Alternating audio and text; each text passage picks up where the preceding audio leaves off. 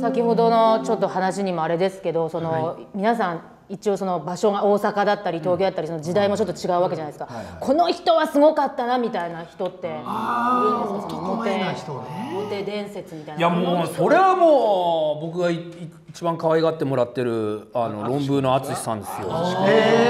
それはもうね皆さんねご存知のね通りこうかなりの浮き名をこうね。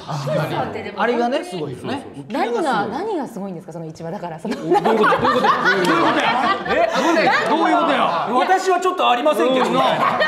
そっちそっちで来たねあ今の本当にそういうふうに思われても仕方ないかもしれない。でもだからいわゆるだってもうザ男前じゃないじゃないですかその。あまあね。木村拓哉さんみたいな感じですかって違いますけど。お前といえばりょうさんの方が男前ですよねだから。なんでそんなに女性だから庄司さんから見てなんでそんなに女性が落ちてしまうの？かっていうのがまあでも豆なんじゃない？で優しいしね。そこじゃそこが一番大事なんでしょ？あとかなりやっぱ自信があるよね。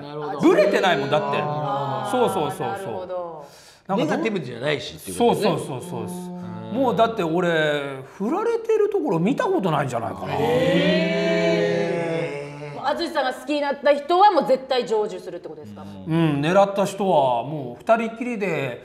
あの時間くれれば絶対落とせるって当時は豪語し今はね結婚されてあれですけどもう時間さえくれれば、うん、絶対落とせるって言ってたからね。でも男で分かりますよね。この人モテるなっていう人と。はいますもんね。モテへんやろうなっていう人が